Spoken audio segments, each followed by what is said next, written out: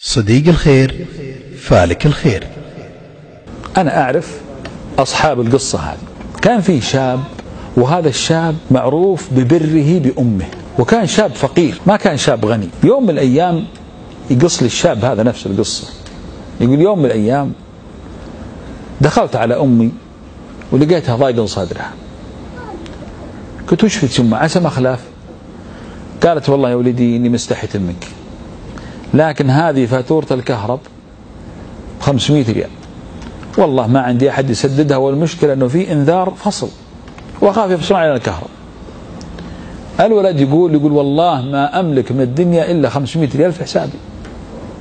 يقول قلت لها يمه طب كلمي إخواني فلان وفلان ساكنين معنا بنفس البيت كلميهم يسددون. قالت كلمة عجيبة قالت أنا والله ما أمون إلا عليك. ما أمون عليهم. يا سعدك إذا صارت أمك تمون عليك. ترى في بعض الأمهات تمون على عيالها وبعضهم لا تخاف منهم لأنه لا أعطاها العطية هذا صحيح؟ وبعضهم تقول هات اللي في مخباتك ولا عليها ليه؟ لأن وصلوا إلى درجة من الحب تخليها تمون عليها. أنتم كذا يا شباب؟ حاولوا تكونوا كذا. لأن هذا هو البر مو بالبر إنك تنتظر تطلب البر إنك ما تخليها تطلب أصلا. تفكر فيها قبل ما تطلب. قال هذا الشاب شوفي يما حاولي بالعيال والله ما معي إلا 500 ريال وحنا باقي على الراتب كم يوم وهذه يعني مصروفنا. قالت خير إن شاء الله اللي تشوفه يا ولدي. طلع الولد يقول أبد ركبت سيارتي وطلعت على ركبت ركبت الخط الدائري. يقول لك قلت اهوجس مع نفسي. قلت الحين أنا لو جاء ضيف رحت أتسلف علشان أعشيه ولا غديه وهذه أمي. تقول سدد وأتردد يقول وأنا أرجع. يقول يوم دخلت البيت يوم شافتني يقول والله تقعد تبكي. قالت والله أني داري قلبك ما راح يطاوعك. لكن يا ولدي ماني معطي قال لا هاتية. ويوم أخذ الفاتورة انتبهوا. ما قال هاتي الله يعين ما فيه إلا أنا. ثم يخرب العطية. قال هاتي وبيض الله وجهك. اعطي الراس بس. وأبشر يوم يمتي. يبي يحلها الله ويبي يفرجها الله.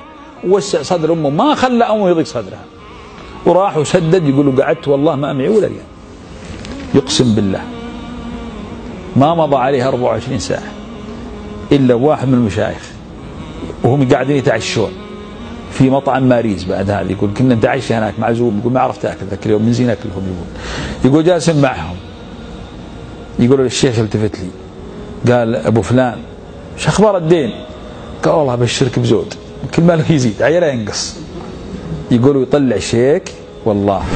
يكتب لي خمسين ألف ريال. والله العظيم. يقول أنا أخذ الشيك. وأطير من لحظتي. الساعة 11 بالليل. أمي نايمة. يقول أطق الباب.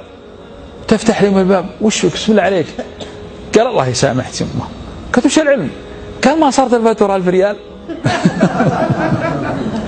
هل 500 جابت 50 لو هي ألف كان صارت 100 ألف.